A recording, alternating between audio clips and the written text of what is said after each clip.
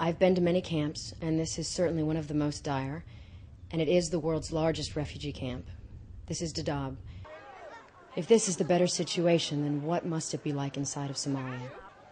Nearly 300,000 people in a space designed for 90,000. Earlier this year, a cholera outbreak was contained thanks to huge teams of humanitarian workers.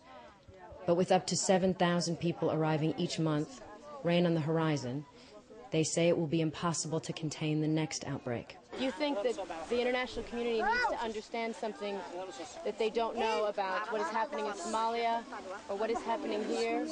When they came here, they have no enough staff because of budget. UNHCR managing these three camps and already it's congested.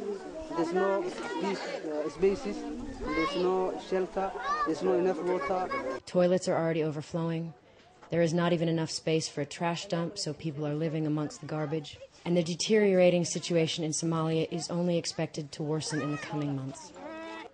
Today, 3.6 million Somalis are dependent on aid, and the 1.5 million internally displaced are becoming more and more difficult to access and help.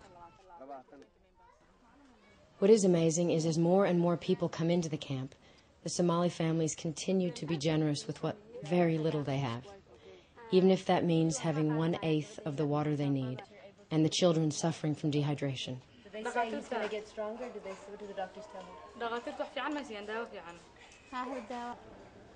Um, and there, how is their health? That's yeah, we're okay that home, except from this one. The Somali families I met today are full of warmth and affection. I wish more people could meet them. Then they would have a stronger desire to help. Claro que le